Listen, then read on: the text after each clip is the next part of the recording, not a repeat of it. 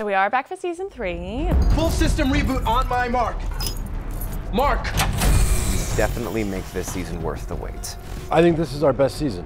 This is no place for you. I'm not leaving. We start with Kirsten still trapped in her memory. It's taken a toll on all of us, especially Cameron. I will never leave you. The relationships of what been you know, are the driving force behind this show, and it's that's what we're giving you this season.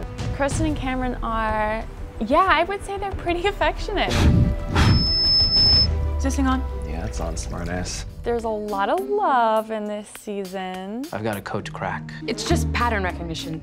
It's kind of my superpower. Linus and Ivy come together at a time where uh, I believe they are both looking for something. She specializes in mathematical patterns. For Linus, that's a, probably a massive turn on. Do you think we can trust Ivy? I'm not 100% sure.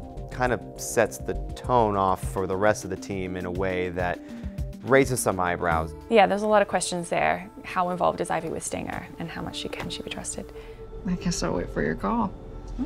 Well, I just need your number. Sure, I can't just text it to you?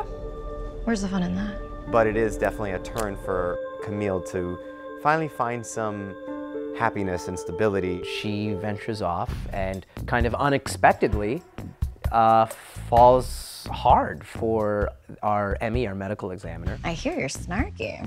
Well, what does that make you? Grumpy? Dopey? duck. She's definitely met her match this season. And the cases have a little more gravitas. They're also, they're quite fun. There's some like interesting, quirky things in there. They're, they're having full sex? Completely overrated. We have more action. We have answers to questions that we've been searching for for quite a while. So we shall see what happens and how it all unfolds. That, my friends, is how the Russian nesting dolls unnest.